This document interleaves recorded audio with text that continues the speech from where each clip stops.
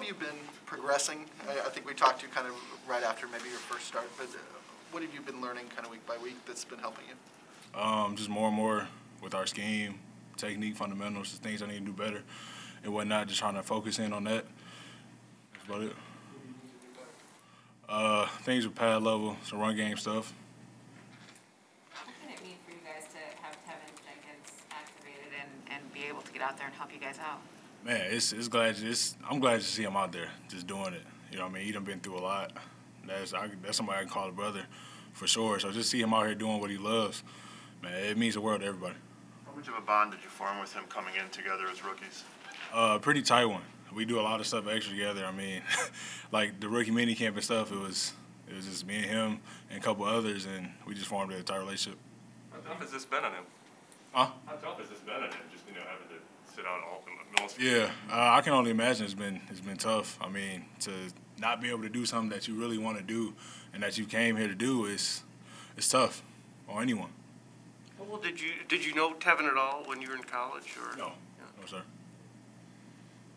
How has James Daniels helped you on the right side? Has there been a growing chemistry between the two of you over the past month? Yeah, hundred percent. We talk a lot. the communication is wide open on the line, whether it's in the game, walking down the hallway, just anywhere. He's my guy. Is there anything he does in the in the middle of a game to help you out on the right side?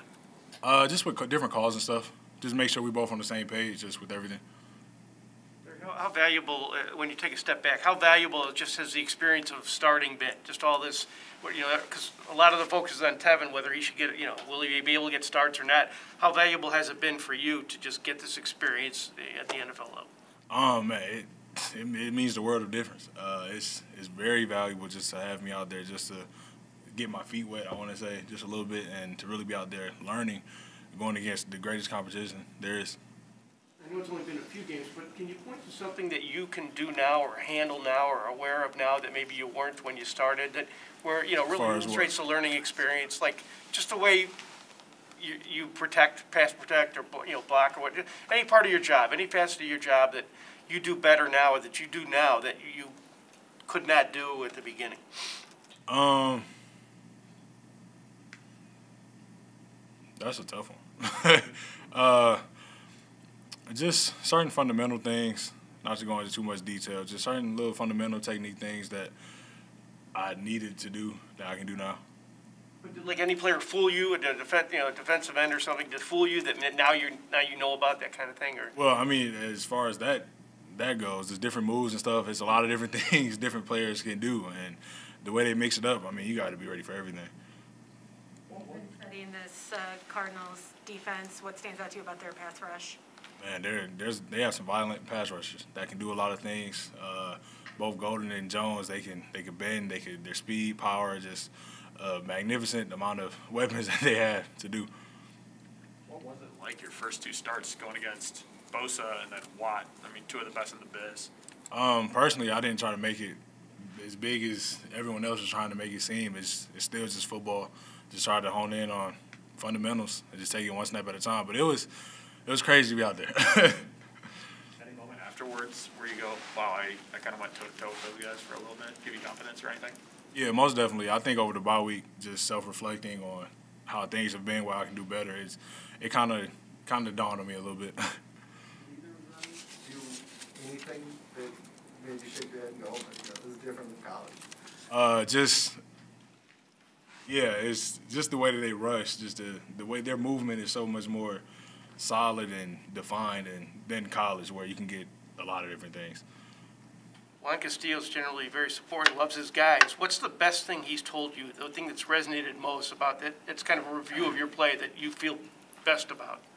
Um, one of his biggest things is you got to sacrifice to be able to do good and do well and do what you want at some point. So just doing a lot of extra work and just keep putting in the extra amount of hours, and it's all going to pay off at the end. That's the biggest thing to me. What was it like to, to go back home and start that game in Detroit?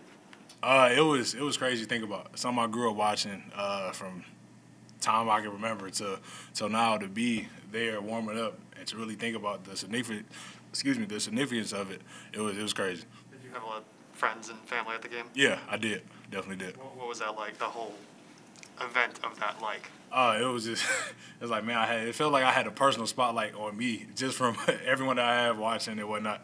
But it was, it was a great feeling. You attend any Lions Thanksgiving games as a kid or anything? No, nope. First one. Yep, first one.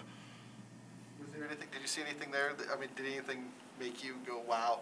Uh, Whether it was pregame, postgame, you know?